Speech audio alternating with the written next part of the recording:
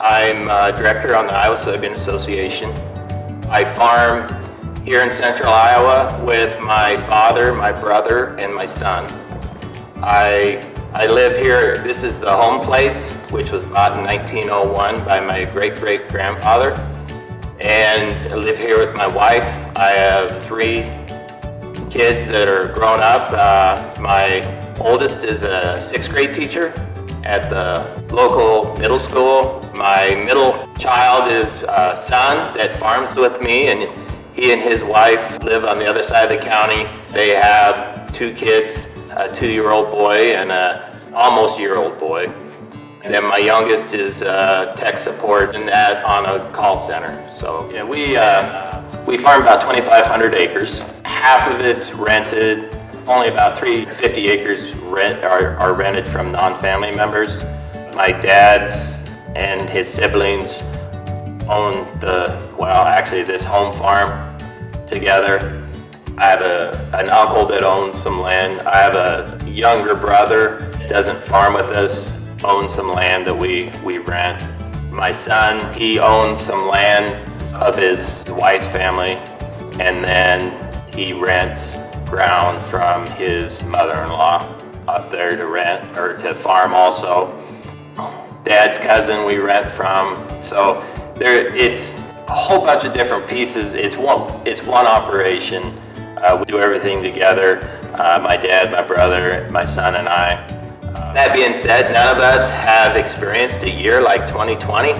It has been a very challenging year everywhere from the COVID-19 to weather to markets.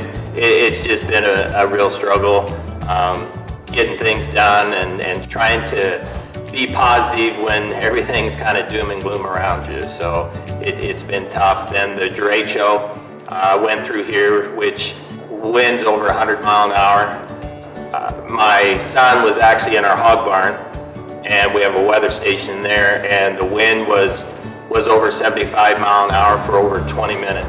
So there are thousands and thousands of acres of corn that was in that wind path just being destroyed because it's flat and, and unharvestable. Uh, soybeans fared a lot better.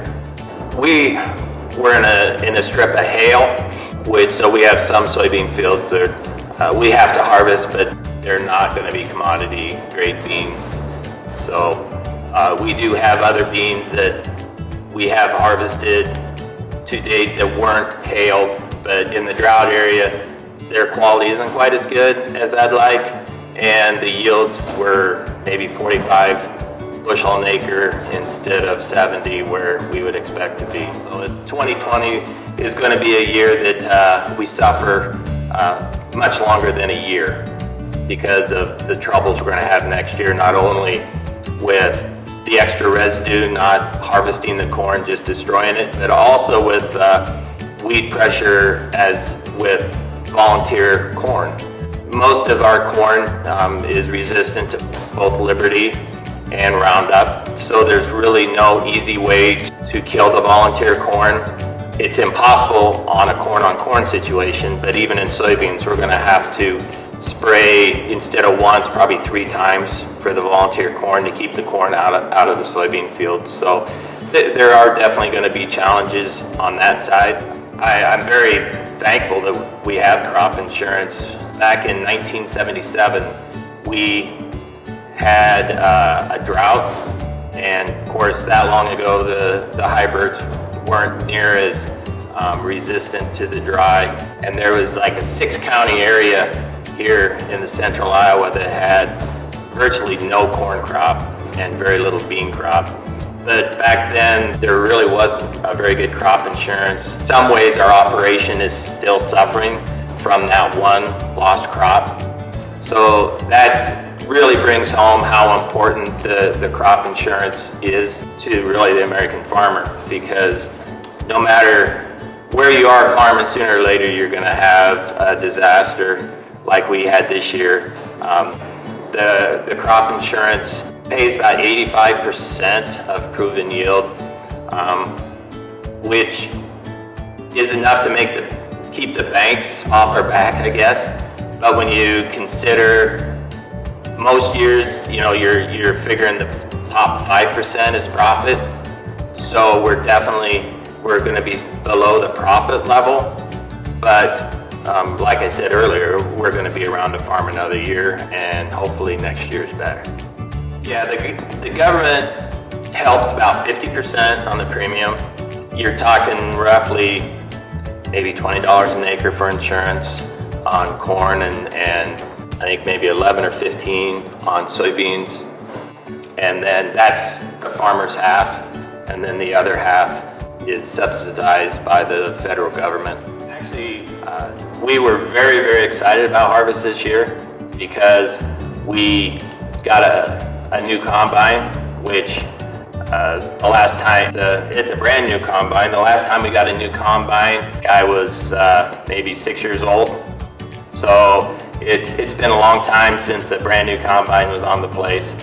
Uh, so we, we, we've been very excited about it. We got it first a year. Then when the derecho hit and looking at the black horn and the hail damage, then all of a sudden, you know, it's not near as exciting looking, you know, to look forward to it. it within the next couple weeks, we'll decide on and buy seed for next year.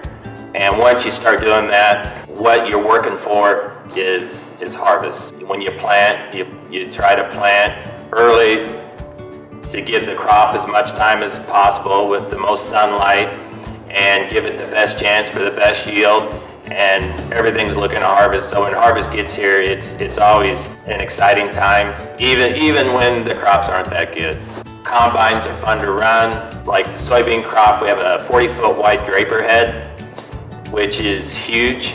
You know, you, you just go back and forth and you can see your progress. You can see in the, in the grain tank what you've worked for all year for. So it, it's actually, it's, in, in my opinion, it's the best time of year as a, as a farmer is, is harvest. So there's long hours and breakdowns and everything else, but we're kind of used to all that and it's fun. So, and if, if you're a farmer and harvest isn't fun, maybe shouldn't be a farmer because that's what it's all about. Actually, my, my dad, he was president of Iowa Soybean Association 30 years before I was, which was kind of an interesting deal too. And, and he was also on ASA board and USB board and, and chaired USSEC for two years. I kind of have a kind of a unique understanding of, of the soybean groups and, and what they do. And um, I'm very interested in continuing uh, the work that they do.